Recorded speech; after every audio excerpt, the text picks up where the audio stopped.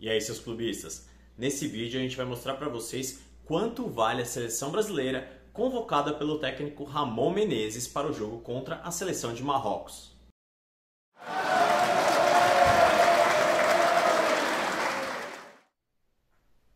Para o amistoso que acontece neste sábado contra Marrocos, o técnico Ramon Menezes ele convocou 23 jogadores, sendo que nove deles jogam no Brasil. O goleiro Ederson, do Manchester City, ele é avaliado em 45 milhões de euros, 256 milhões de reais. O Everton, do Palmeiras, é avaliado em 3,5 milhões de euros, 19 milhões de reais. E o goleiro Mikael, do Atlético Paranaense, é avaliado em 700 mil euros, perto de 4 milhões de reais. Na defesa, o Ramon ele convocou o Éder Militão, que estava na Copa do Mundo, é do Real Madrid, e ele é avaliado em 70 milhões de euros, quase 400 milhões de reais. O Bremer, que também esteve na Copa do Mundo, zagueiro da Juventus, ele é avaliado em 40 milhões de euros, 228 milhões de reais. Já o Ibanez, da Roma, também da Itália, ele é avaliado em 30 milhões de euros, 171 milhões de reais. E para finalizar a defesa, o Robert Renan, que era do Corinthians e foi vendido ao Zenit, ele é avaliado em 3 milhões de euros, algo em torno de 17 milhões de reais. Para as laterais, o Ramon ele convocou o Emerson Royal, do Tottenham. Ele é avaliado em 25 milhões de euros, 142 milhões de reais.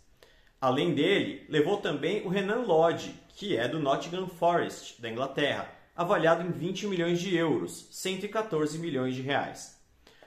Na Espanha, vem o Alex Teres para a lateral esquerda, do Sevilha. Ele é avaliado em 12 milhões de euros, algo em torno de 68 milhões de reais. E ele levou também o Arthur, do América Mineiro. Ele é avaliado em 200 mil euros, um pouco mais de 1 milhão de reais. E para meiuca, o Ramon chamou o Casimiro, do Manchester United, que é avaliado em 50 milhões de euros, algo em torno de 285 milhões de reais.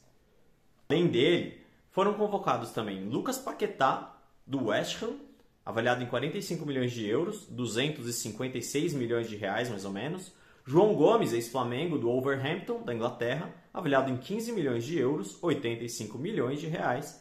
Andrei, do Vasco, que foi vendido para o Chelsea e retornou por empréstimo ao Vasco, é avaliado em 12 milhões de euros, 68 milhões de reais o mesmo valor do Rafael Veiga, do Palmeiras, que ele também é avaliado em 12 milhões de euros.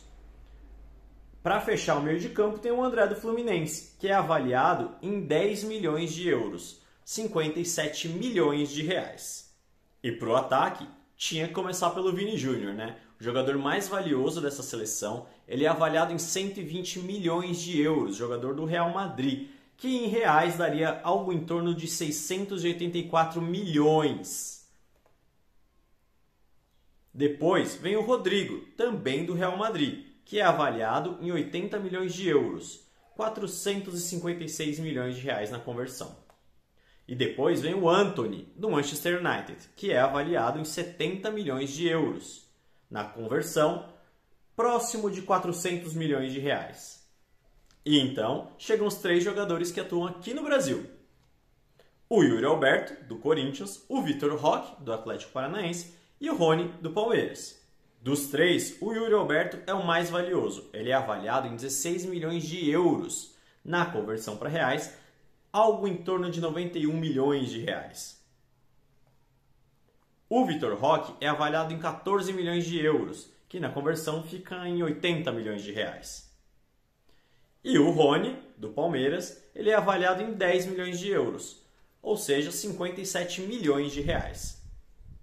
No geral, o Ramon convocou nove jogadores do Brasil, sete da Inglaterra, quatro da Espanha, dois da Itália e um da Rússia. Ou seja, se a gente somar todos os valores desses jogadores, a gente vai chegar na quantia de 700 milhões de euros, mais de 4 bilhões de reais. Lembrando que esses valores eles são do site Transfer Market, um site especializado em transferência de jogadores e valor de mercado. E aí, o que achou? Tem algum jogador que está valendo mais? Tem algum jogador que está valendo menos? O que, que vocês acharam dessa lista e dessa convocação do Ramon? Conta pra gente nos comentários, se inscreve no canal e não esquece de curtir esse vídeo aqui.